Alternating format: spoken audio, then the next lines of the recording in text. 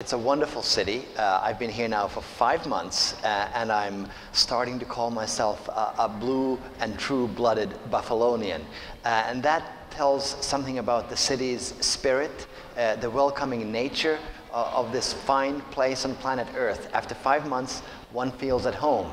Uh, I came here with my wife, three kids, and two dogs, and a whole lot of books, and it feels like home and that's, you know, it's a, it's a unique thing for somebody who has uh, had both the blessing and the curse of, of, uh, of traversing the world uh, over several years. I've lived in seven different uh, countries and many different cities, including places like London, Vienna, Jerusalem, Stockholm, Helsinki, uh, in the United States, New York and Worcester, uh, Boston.